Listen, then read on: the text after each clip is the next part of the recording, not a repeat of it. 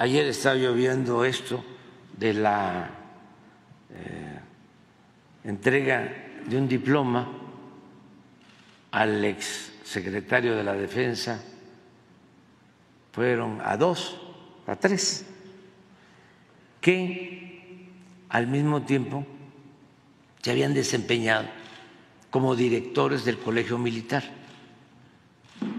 Nada más que de eso no se dijo nada. Es Julio Hernández, ¿no? Igual que este Carmen Aristegui, comunicadores progres buena ondita, que nunca han estado con nosotros.